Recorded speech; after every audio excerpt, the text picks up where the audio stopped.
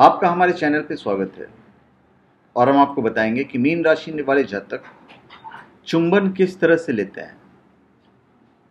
देखिए, चुंबन एक अनमोल चीज़ है जो इंसान मरते दम तक नहीं भूलता। यह प्यार की पहली सीढ़ी होती है जो डायरेक्ट दिल पर वार करता है। आप चाहें तो ज्योतिष के अनुसार ये भी पता लगा सकते हैं कि आपका पार्टनर बेडरूम में कैसा व्यवहार करेगा।